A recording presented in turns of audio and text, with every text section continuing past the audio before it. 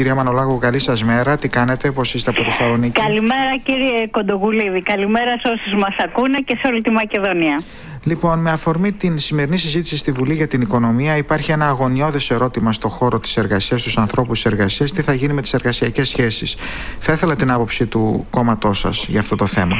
Ε, δυστυχώς ε, και, την, και αυτή την οικονομική κρίση πάνε να τη βγάλουν από τις πλάτες ε, των εργαζομένων.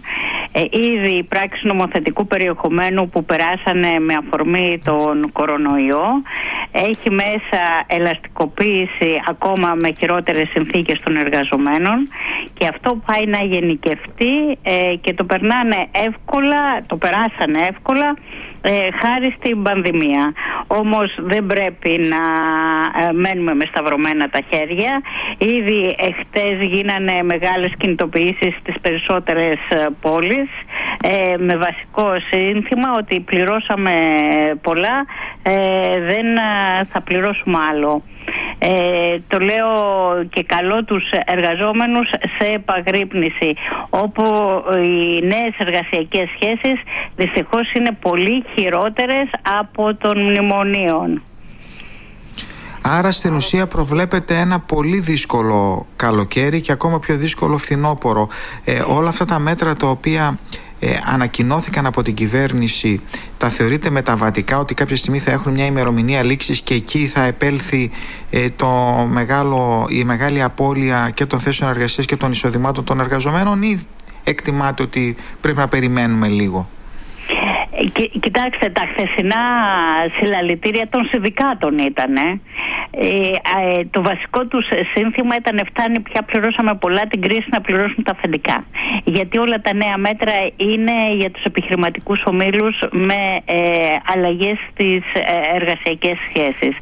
Ε, ξέρετε, η, όλα τα Ινστιτούτα, τα οικονομικά, τον ΙΠΑ, της Ευρώπης, ε, μεγάλων χωρών, τι εκτιμούσαν πριν από τον κορονοϊό, ότι έρχεται μεγάλη οικονομική κρίση. Αυτό επισπεύθηκε και εξαιτίας της πανδημίας. Όμως τα μέτρα που είχαν ήδη ε, προετοιμάσει τα ξεδιπλώσανε πολύ εύκολα και πολύ γρήγορα. Ήρθανε για να μείνουν. Και με αυτή την έννοια ε, δεν πρέπει να είμαστε σε φυσικασμό. Μάλιστα. Ε, θεωρείτε... Δηλαδή δεν θα αφήσουν τον κόσμο να πάρει ανάσα. Ετοιμάζονται νέες αλυσίδες εκμετάλλευσης. Δηλαδή αυτό που λέμε το σύστημα κινείται με έναν τρόπο όπου ε, θα εκμεταλλευτεί την κατάσταση αυτό εννοείται την κατάσταση με το κορονοϊό προκειμένου... Ναι. Ήδη, ήδη την εκμεταλλεύονται, δηλαδή από τα ποσά που μοιράσανε, αλλά και από αυτά που έρχονται τα δισεκατομμύρια ήδη απευθύνονται στις μεγάλες επιχειρήσεις ε, και ταυτόχρονα μειώνουν το εργασιακό κόστος. Ο, θα μειωθούν και άλλοι οι μισθοί και βεβαίως θα εκτιναχτεί και η ανεργία που θα είναι ε, εργαλείο πίεσης και εκβιασμού. Μάλιστα. Κυρία Μανολόκα, ευχαριστώ πάρα πολύ για τη συνομιλία. Θα τα ξαναπούμε ναι, και μια Κανείς όμως δεν πρέπει να σταματήσει εδώ. Ναι. Θέλω να πω ότι και το χθεσινό Eurogroup ζήτησε την κατάργηση της όποιας προστασίας είχε μείνει στην πρώτη κατοικία άρα έρχεται κόλαση. Απέναντι σε αυτή όμως θα πρέπει να απαντήσουμε δυναμικά. Ε, όπως κάνει και ο λαός ε, της, στη ΣΥΠΑ ε, παλεύουν ενάντια στο ρατσισμό και την εκμετάλλευση αλλά και εμείς ε, εδώ στην Ελλάδα και σε συντονισμό με τους λαούς της Ευρώπης. Ξέρετε, χτες η Λουφχάνσα ανακοίνωνε για 10.000 απολύσεις.